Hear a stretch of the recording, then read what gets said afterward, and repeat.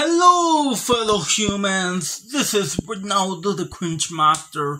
My apologies if there is any annoying background noise, but also this is another video.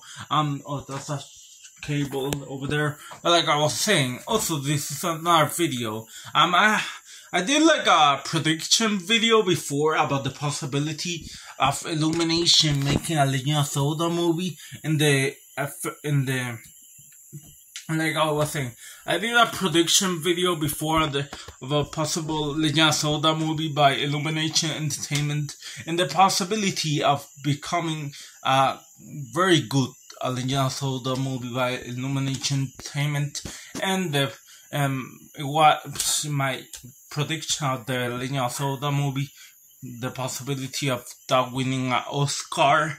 You know like not a name, like you know, a trophy, like a film trophy, like a the best animated movie trophy. Um, also, but this is another prediction, another. So, but like I was saying, this is another prediction because this is a really dumb prediction.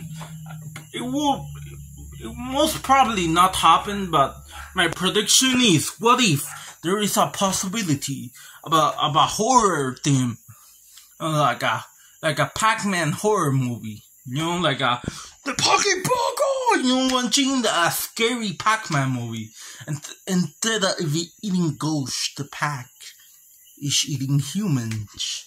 See, that was my prediction that there might make a horror Pac-Man movie, like the possibility of a Pac-Man horror movie. Uh, yeah, that was it. So thanks for watching, everybody. See you all in the next video. Goodbye. Um, I hear like my dog in the background. Not that horrible? Well, thanks for watching, everybody. See you all in the next video. Goodbye for now.